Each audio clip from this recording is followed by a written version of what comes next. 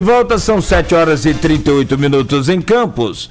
É, a gente está com dificuldade aqui de fazer contato com o presidente da, do Sindicato Rural, tentando inclusive improvisar aqui para que a gente fale por telefone mesmo, né? É, já que ele não conseguiu lá o operar o, o Skype. Mas o presidente está conosco, que é o Ronaldo Bartolomeu, e a gente conversa sobre o Sindicato Rural de Campos. O Sindicato Rural né, e as suas funções, eu inclusive é, gostaria de falar nessa primeira parte sobre qual a atuação do, do, do, do, sindicato, de que forma o sindicato chega até o homem do campo, como é que o homem do campo chega ao sindicato, os detalhes da do sindicato, para que no segundo bloco, então, a gente consiga falar sobre essa questão do potencial agropecuário de nossa cidade. Ronaldo Bartolomeu, bom dia. É um prazer falar com o senhor aqui na, na, Folha, na Folha FM. Muito bom dia, seja bem-vindo, mesmo que por telefone, sem a imagem, mas pelo menos para a gente conversar e bater um papo vai ser né, a mesma coisa. Bom dia, presidente. Bom dia, Cláudio. Bom dia a todos os ouvintes da, da Folha FM. É, agradecer o convite. É, é, muito bom a gente participar de novo do programa com vocês, para a gente é, levar a, as nossas, os nossos anseios aí do nosso setor para que fique é, divulgado, esclarecido, para que toda a população tenha conhecimento do que, que é o, o nosso setor aí. Tá ok? Perfeito. Aliás, eu acho que é, o senhor poderia começar a falar sobre o, o sindicato rural. Qual a, a, a, função ou as funções do sindicato rural hoje? Eu estava lendo há um tempo atrás é, sobre as atuações, o, a formação do sindicato, né? Existe um, um, um, pilar, que é o homem do campo, logo depois vem o, o sindicato, depois vem o Senar, vem a FAERJ, enfim? Eu gostaria que o senhor explicasse essa pirâmide é, de, de, organização para atuar em, benefício, naturalmente, do, do homem do campo. Bom, Cláudio, o sindicato, o, o intuito do sindicato é justamente agregar a, a classe produtora, justamente para ter, ser uma voz mais forte né, e melhor ouvida, né? Nas, nas nossas demandas e nas nossas necessidades é, do produtor rural aqui no nosso município. Né? É, o sindicato rural ele é, ele é subordinado né, à, à que é a Federação da Agricultura do Estado do Rio, que por sua vez é subordinada à Confederação Nacional da Agricultura, a nossa CNA, né? E o nosso sindicato, é, a função principal do nosso sindicato é justamente isso, agregar os, produtores rurais para, para é, é, unir força em torno da nossa demanda. E hoje o sindicato tem uma outra função que é, é muito boa, é justamente essa, essa, essa questão de trazer conhecimento para o homem de campo.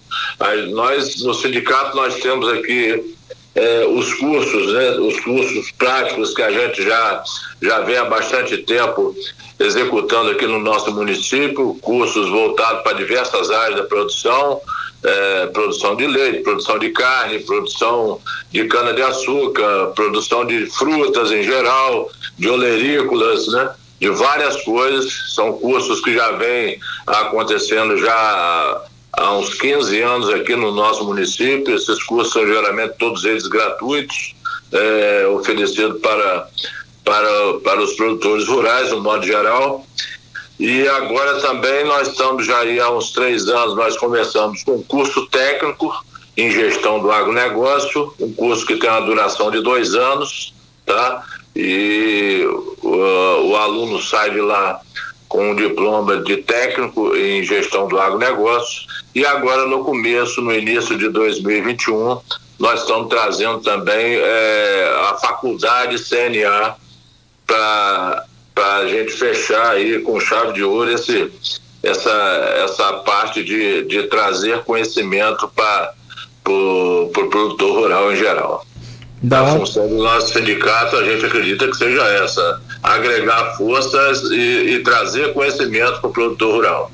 É, e, e, quem tem conhecimento tem poder, né, presidente? Sem dúvida, Cláudio. O conhecimento nos transforma. E ainda ontem eu assisti o Globo Rural e uma reportagem sobre café especial em duas jovens com sonhos idênticos, né? Uma já realizou e a outra aqui do, acho que da leste do, de Minas Gerais, é, também o sonho de produzir um café especial. Essa, essa questão dessa informação de você ter um café simples, produzir um café ali, entregar para a fábrica é uma coisa, e, e, a outra é você agregar valor a uma produção até pequena de café, mas um café especial. Um café com qualidade, com controle rigoroso, desde o plantio até a coleta, a seleção, aquela coisa toda. Isso é informação, né, presidente? Sem dúvida nenhuma, né? Inclusive até nós temos no, no, no, no no, Senar, né, daqui do, do, nosso estado, como nós temos aqui em execução aqui no nosso município o programa Balde Cheio, voltado para a produção de leite, aqui no, no noroeste do estado aqui existe o programa Bully Cheio, que atende justamente a essa demanda dos Legal. produtores de café. Você entendeu? Uhum. É, levando conhecimento e justamente essa parte de, de, de, de uma melhora na produção, justamente para agregar valor no café produzido aqui no, no Noroeste Fluminense. Eu já visitei algumas, algumas lavouras aqui assistidas pelos, pelos técnicos aqui do Senar aqui, uhum. e o pessoal está mudando, o estado do Rio está voltando de novo a, a ter café, café de qualidade. Aliás, o estado do Rio também sempre foi um, um, um bom produtor de café, não um grande, mas um bom produtor de café, né? Sempre foi, é. E agora está tá voltando justamente mais é, é, calcado em cima de, de, conhecimento, né? De tecnologias novas, né? Essa coisa toda justamente com o pessoal do Senar trazendo esse conhecimento e, e distribuindo esse conhecimento para os produtores rurais. E o Senar, é o que o senhor falou, é a, a, o órgão imediatamente acima do sindicato rural, não é isso? Não, em cima do sindicato rural é a FAERG, a né? FAERG. É, a FAERG, né? E o Senar, o Senar é, é como se fosse uma, uma escola que presta esse serviço né, para o homem do campo, né? É o Serviço Nacional de Aprendizagem Rural. Hum. Então a, a FAERG ela, ela, ela é ligada ao Senar justamente para poder trazer esses cursos, esse conhecimento, essa formação de mão de obra, né, essa formação de técnicos, justamente para é, ser é, feito é, nos estados, né, ofertar esses cursos de, de, de, de, de, de tecnologia, de novas tecnologias para trazer para os produtores. Você falou que a região conta com o, é, o programa de leite. É, balde cheio. Balde cheio. Tem uma, pergunta, tem uma pergunta aqui no Face, onde a gente está com o stream agora e por isso a importância da imagem. É, da Ivanete Lobato. Bom dia. Gostaria de saber do presidente do sindicato a possibilidade de Campos voltar a ter uma cooperativa de leite, ao invés de transferir a nossa produção para cooperativas de outros municípios. Aí bateu a saudade da Cooperleite, né, presidente? Mas, é, mas antes do, do senhor responder, eu vou pegar aqui, Ivanete, se você me permite, uma carona na sua pergunta e, e, e colocar aqui justamente isso. Na, tem cerca de duas semanas, no máximo, nós conversamos aqui com o Robinho, que é o, o secretário de Agricultura. Secretário de Agricultura de Campos, né? Uhum. E a gente falava sobre cooperativismo. É, eu dei alguns exemplos aqui da Serra Capixaba, onde ali a criação de, de aves disparou, né? É, é, é, o setor ali cresceu assustadoramente e tudo at através de cooperativas. E assim vai, também o café, também outros é, produtos. Só que ele falou e revelou para a gente aqui uma dificuldade muito grande no cooperativismo entre os produtores. Não se sabe ao certo se falta alguém para gerenciar uma campanha sobre essa, essa questão do cooperativismo ou se é uma cultura do campista, do produtor campista, não participar das cooperativas de alguma forma, é uma questão de cultura. E aí não se muda assim da noite para o dia. Né? Tem que fazer um trabalho muito forte. Como é que é essa questão de cooperativa, emendando aqui com a pergunta da, da Ivanete Lobato? Ô, ô, Cláudio, eu acho que é impossível de se fazer uma nova cooperativa de leite aqui, eu acho que não é impossível, né? Basta que haja a união de um grupo de produtores e queira se, se criar uma nova cooperativa, eu acho que isso aí é, é, não, é, não é impossível de se fazer, não. Apesar das dificuldades hoje de se montar um parque industrial, né, para beneficiar leite, não sai barato, né? Uma coisa dessa, uma fábrica de, de leite aí que atenda aí a, a, as legislações sanitárias, né? não, não deve ser uma coisa mais barata. Nós temos hoje aqui, atuando aqui na nossa região, a cooperativa de Macuco, que é uma cooperativa que é muito bem administrada, muito bem gerida, né? É uma cooperativa que é lógico, a gente almeja mais, mais uma melhor eficiência dela. É, a gente acredita que possa vir é, melhorando cada dia mais. É uma cooperativa que é, faz divisão de lucro com seus cooperados, né? É, então, eu acho que a Macuco, tá, que está aqui atuando aqui na nossa região, é um exemplo a ser seguido. Está entendendo? Se, se resolverem fazer um movimento para criar uma nova cooperativa, eu acho que, é, eu acho que Macuco, a cooperativa de Macuco, seria um bom exemplo a ser seguido. É, agora, eu acho que o campista, eu acho que o campista, a gente não sabe se, se ele tem a vocação para se unir, para formar a cooperativa ou o que, que é, mas já tivemos duas cooperativas aqui, né? A Cooperleite e a Coopercred. E todas, e todas duas é, fecharam, pelo que a gente sabe, por problema de gestão né? na à frente da, das duas cooperativas, né? É, eu acredito que é uma solução, eu acho que é a solução mais viável para qualquer atividade que, que a gente venha é, a trabalhar aqui né, no nosso município. O sistema cooperativista, eu acho que é um dos sistemas é, melhores a, a gente é, que beneficia né, com a, a todo, todo o quadro de cooperado, né? Então, acho que é uma coisa bem, bem democrática, né? Bem, bem, bem aceita. Agora, o problema é justamente essa questão de gestão, né? Hoje em dia, a gente não pode é, brincar com um negócio desse, não, uma cooperativa que seja de leite, de carne, de cana, do que for, de crédito, e, ou então juntar tudo, como a gente vê no Paraná, que as cooperativas são, de, de, são de tudo, né? Então, eu acho que possibilidades tem, eu acho que pode existir sim, agora depende é da, da vontade dos produtores se unirem para fazer um movimento novo e criar uma, uma nova cooperativa e tomar cuidado justamente com essa parte de gestão, né? Que é, que é o principal gargalo aí, eu acho. Você acha que o, o, o, ficou meio que é, amedrontado aí, o produtor ficou meio que amedrontado, decepcionado, enfim.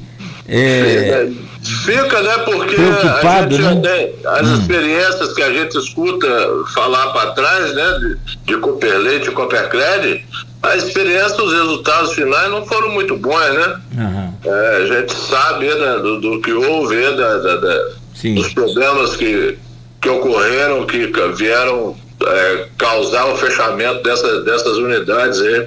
Então, é, é, o receio maior é justamente isso aí, né? Eu acredito que seja por aí. É porque o, o cooperativismo ele é extremamente vantajoso para todos, para todos os cooperados. Você vai comprar um, um, uma máquina sozinho é uma coisa. Você vai Sem comprar pela cooperativa. Quanto custa uma, uma máquina dessa aí? É uma colheitadeira dessa de cana aí? Isso é um absurdo é. de cara. Qualquer máquina, né? Ligada ao é. setor. É, uhum. Tudo muito caro, mas você compra pela cooperativa e aí se sai de, é, é, vamos supor, quase que é o preço de uma parcela, dependendo do, do tamanho da cooperativa, vai sair um, uma, uma ninharia para o produtor, vamos dizer assim, um, um preço bem acessível, a parte de cada um, e no entanto, sendo bem administrado, todos vão poder usar de forma normal, correta. Né? Então você. Sem dúvida, pela... sem dúvida nenhuma. É uma pena. No essa... Paraná, o tamanho da, da, da, da, do estado do Paraná, uhum. o tamanho das propriedades é muito semelhante aqui no nosso município, são pequenas propriedades. Uhum. Então você vê que todo mundo planta, todo mundo planta soja, planta milho, né? E vai uma máquina, eu imagino que deve ser uma máquina lá comum da cooperativa que vai lá, colhe, colhe a minha soja, colhe a sua, colhe a do outro vizinho nosso e por aí vai sucessivamente. Eu acho que funciona dessa maneira. Não tem necessidade de, de um pequeno, pessoa com uma propriedade pequena, adquirir uma máquina dessa cooperativa. A cooperativa vai lá e fornece a máquina, a máquina vai lá fazer a colheita do, do, do, do da minha lavoura, da sua e dos outros vizinhos que, que tenham lá o mesmo tamanho de propriedade da nossa e vai embora o negócio. Entendeu? É esse que é o problema. Agora, vamos ter que trabalhar, naturalmente, então, o que o senhor falou aí, esse medo que pode ter ficado. Acho que a primeira coisa que deve ser feita é uma pesquisa, né, junto ao, ao, ao produtor por que, que ele não, não, participa de cooperativa. Se for São João da Barra, como a própria ouvinte nossa está falando aqui, a, a Ivonete, ela está citando aqui, ó, também exemplos de São João da Barra. Agora tem uma pergunta aqui da Noêmia Magalhães, e aí muda o assunto, mas está aqui na página do Face, presidente. Campos possui o maior assentamento de agricultores familiar do estado, segundo a Noêmia. O Zumbi dos Palmares, o que significa né, é, o que o sindicato oferece para o acampamento ou voltado só para agronegócio? O que o sindicato oferece, o sindicato rural, ele é dos produtores rurais. Todo produtor rural, independente que seja de assentamento, agricultura familiar, é, média propriedade, pequena propriedade, grande propriedade, o Sim. sindicato está de portas abertas, o sindicato é do produtor rural. Então, todo produtor rural que quiser se associar ao sindicato, o sindicato está lá de portas abertas para atender a todo mundo. Tá? Independente do que for, se for de assentamento ou não, não, me, não interessa isso. A pessoa, ele é um produtor rural. Então, ele faz parte do, do, do, do sindicato rural. Tá? Não interessa essa questão se é assentamento ou não. Agora, é, que, o que o sindicato pode fazer é justamente isso que nós já vemos fazendo já há bastante tempo. Hoje, um dos grandes, a maioria dos nossos cursos, é, cursos práticos que a gente dá voltado para a produção de várias coisas que, de várias atividades que são exercidas aqui no nosso município, a maioria dos cursos é, é feito em assentamentos aí do assentamentos rurais aí, tá? Ah, é, digo para você que em torno de 70% a 80% dos cursos disponibilizados vai em direção aos assentamentos. Então nós não temos aí nenhuma reserva contra o assentado, é o que eu volto a te falar. O assentado ele é um produtor rural. Ele está somando com, com, aqui com, com o nosso município. Ele está produzindo justamente para gerar riqueza aqui no nosso município. Independente do tamanho da propriedade dele, é, ele é um produtor rural. Nessas demandas todas que o senhor conhece, qual é a maior demanda do nosso produtor rural hoje? É, se é que pode classificar uma, né? Temos várias, a gente conhece aqui várias, a questão de estrada, a questão de é, o apoio no, no, na produção, no plantio, na colheita, até no escoamento da sua produção, é uma série de operações aí que a gente conhece que é, tem, existe de demanda. Mas o senhor que tem esse conhecimento aí empírico e que está no dia a dia realmente, é, como diz na, lá na roça, na labuta, é, como é que, qual é que, que é a maior demanda desses nossos produtores de campos hoje? Ô Cláudio, a gente acredita que a maior demanda hoje realmente dos produtores de campos é justamente essa questão de estradas para escoamento de produção. Tá? Eu acho que é, você vê, tem, tem determinadas regiões lá do Impé lá que a linha de leite acabou porque é, o caminhão não, não tinha acesso à propriedade. Tá? Então eu acho que é, a grande demanda nossa, em primeiro lugar, eu acho que é essa questão de estrada. Tem, vai, tem um outro fator que a gente acredita que seja um fator que dê um resultado muito importante na produtividade do nosso município é, de imediato, porque é, é, a produção, né, ela, é, para você produzir a terra, ela, em primeiro lugar, você tem que ter a terra e a terra no estado, no estado ótimo para a produção, né? Sim. E, e toda a maioria dos solos eles dependem de calagem. Calagem é a utilização de calcário. E nós aqui temos um problema sério é, com o custo do frete do calcário aqui para o pro produtor ter acesso. Tá? Eu acho que é uma, é uma demanda que é, é uma demanda, eu acho que a segunda demanda em importância para o nosso setor seria essa, essa disponibilidade de oferta de calcário a um custo mais, mais acessível produtor, para o produtor. Eu, veja bem uma coisa que eu quero te falar, tá? Nós não queremos nada de graça, tá? Produtor nenhum quer nada de graça. Nós queremos é, é disponibilidade, um custo menor porque hoje o frete é muito mais caro que o calcário. Tá entendendo? O frete é mais caro que o produto. Sim, sim, sim. Tá? E, e outro fator que eu acredito também que venha a, a atrapalhar né, o desenvolvimento, principalmente do pessoal do assentamento e do pessoal da economia familiar, é justamente a, a regularização fundiária, cara. Hum. O produtor, o pequeno produtor, ele tem que ter acesso a crédito rural fácil para ele poder é, conseguir recursos para aplicar no, no, na, na, sua propriedade. Tá? E a gente sabe que aqui no município, no nosso município, é, muitas vezes o, o pai morreu e ficou lá a família grande, três, quatro, cinco filhos, né? E cada um recebeu um pedaço de terra e ele não tem documentação daquela propriedade. Tá? Então, quando ele vai ao banco, ele não tem acesso a crédito rural porque ele não tem garantia. O banco quer garantia. Tá entendendo? Sim. Então, essa regularização fundiária seria de suma importância para os produtores rurais daqui do nosso município. Sim. Tanto pessoal, é, e o próprio pessoal do assentamento também, eles só conseguem a DAP, é, que, é um, que é um documento de aptidão para a produção, é, quando, quando tem, quando, quando tinha aqui uma, uma representação do INCRA. Sim.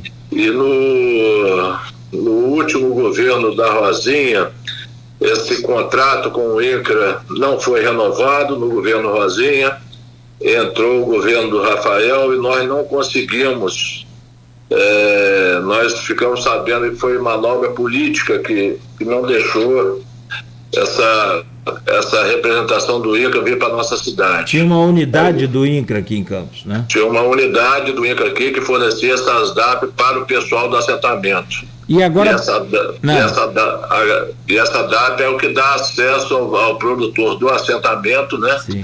A, aí a rede bancária para conseguir. É, é, crédito rural. Uhum. E, e, e ah. hoje como que é feito isso? Já... Olha, hoje a gente consegue estar aqui nos municípios vizinhos, é um caminho muito mais longo, que a gente depende é, de boa vontade do pessoal de outros municípios para conseguir a DAP para esse pessoal do assentamento, tá? E o pessoal que não tem essa regularização, o pessoal que não é assentado, né, que não tem a regularização fundiária feita, uhum. não tem documento da propriedade, não tem escritura, né, uhum. é, esse pessoal simplesmente não consegue acesso à rede bancária.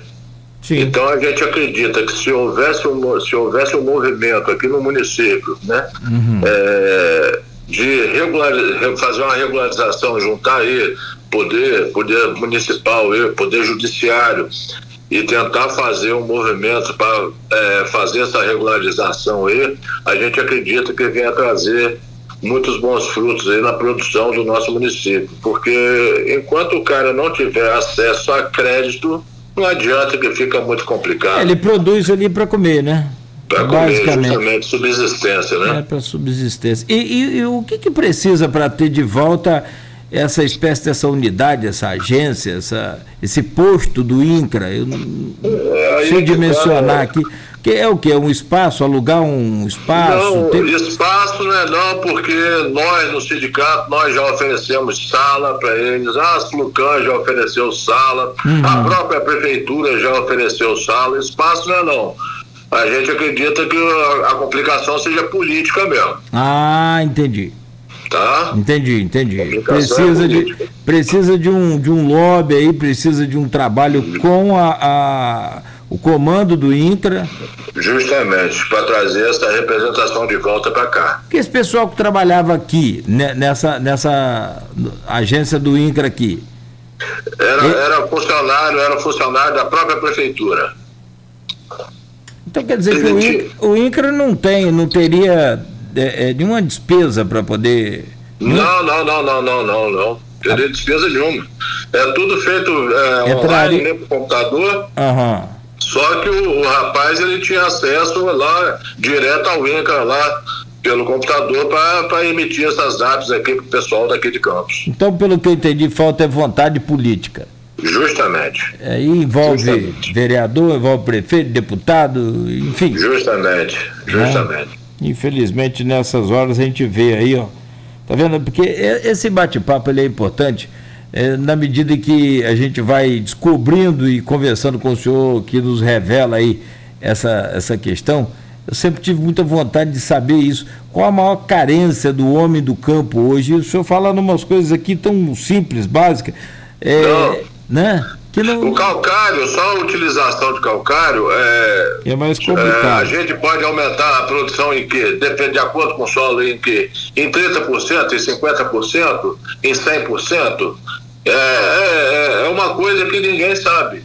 É. Você está entendendo? Entendi. É, é, uma coisa fantástica, é, é, é um beabá. É, isso aí é praticamente ensinando a gente, voltando a gente lá atrás, lá, ó, vamos começar a aprender a plantar. Então o calcário faz parte desse, desse, desse aprender a, a plantar, tá entendendo? Qualquer Sim. coisa, tanto faz cana, pasto, verdura, fruta, tudo isso depende de calagem. Tá? Depende do... Isso é, isso é, isso é beabá. É beabá do, da, da, da, da, do, de, de, qualquer atividade voltada aí à produção vegetal aí. É pra, calagem. Para quem já teve oportunidade de passar aqui, mesmo que pela estrada e ver um plantio de cana, é, ver aquelas aquelas quase que dunas ali, né? Aqueles montes de, de, de, de pó branco, aquele calcário. É calcário. Né? Agora, uhum. nós temos um intervalo agora, são 8 horas e 6 minutos. É, você se lembra da década de 80, até a década de 80, Italva tinha uma fábrica de calcário, produzia muito calcário. Não sei se você se lembra disso ali, tem, logo na chegada tem. ali. Hoje. Tem uma fábrica, tem uma fábrica do Estado, né, que está abandonada agora lá, né? É, acabou há muito tempo, né? É, Já parou. É. É, existe essa fábrica lá que agora virou depósito né, de veículos lá do estado lá. Não é? é. Nós já, nós já no, aí no início do governo Witzel, nós tivemos aí, tinha um representante do secretário de Agricultura aí, nós pedimos para ver se havia, para ver se há, se há viabilidade econômica, né, de se voltar a produzir calcário da, naquela, naquela, naquela usina, né, e, e, nós não tivemos resposta nenhuma. Ah, né? Hoje o calcário do, do, do, Espírito Santo sai mais barato que o calcário produzido ali na, na fábrica da Paraíso ali. Sim. O calcário do Espírito Santo é mais barato que o da Paraíso. Porém, o que vai ser justamente o frete, né? É o frete. Agora, então, e matéria-prima, o que não falta né, em Italva tem muita pedra. Sim. Tem muita. Justamente. Então, pode, podia se unir aí a, a força política, né? A, vontade, a vontade com a necessidade. Presidente, são 8 horas e 7 minutos. Eu peço ao senhor que continue conectado conosco. É, pedimos desculpas aos nossos ouvintes né, e telespectadores pelo Face por conta de, do presidente não ter conseguido lá acessar o, o, o Skype. o que né, só dificultou na imagem, mas o áudio está perfeito. E a gente volta em instantes só para a gente conversar sobre é, essa questão de economia. A, a, o agronegócio tem sido apontado. O Aloysio, por exemplo, o Aloysio Abreu Barbosa fez aí 11 painéis com vários representantes de vários segmentos falando sobre possíveis alternativas para a nossa falta dos royalties e o agronegócio é disparado aí, né, o principal, é, é, a principal opção né, no que diz respeito à retomada do crescimento de campos. Porém, ninguém, evidentemente, que, que fala, tem experiência ou know-how no assunto, para especificar como que né, podemos é, incrementar o agronegócio de forma que ele passe a ser né, o verdadeiro é, sustentáculo aqui da região, que teve a oportunidade, né, a maravilha de viver, pelo menos nos últimos 18 anos, 16 anos, talvez 14 mais precisamente, né, as maravilhas dos royalties, né, jogamos fora, desperdiçamos aí essas, essa oportunidade, esse prêmio da Mega Sena, que eu costumo dizer, foram mais de 25 bilhões de reais nesses últimos anos, né, desde o início da arrecadação. Então, o agronegócio também não viu uh, investimento significativo nessa parte. Vamos lá, são 8 horas e 9 minutos, a gente faz um breve intervalo. Próximo bloco, a gente volta a falar com o Bartolomeu, né, o Ronaldo Bartolomeu, presidente do Sindicato Rural de Campos, ao vivo conosco aqui na Folha FM neste feriado 12 de outubro, dia de Nossa Senhora Aparecida e dia das crianças também. Folha no ar volta no oferecimento dos laboratórios Plínio Bacelar e Clínica Proteus. Quando se pensa em exames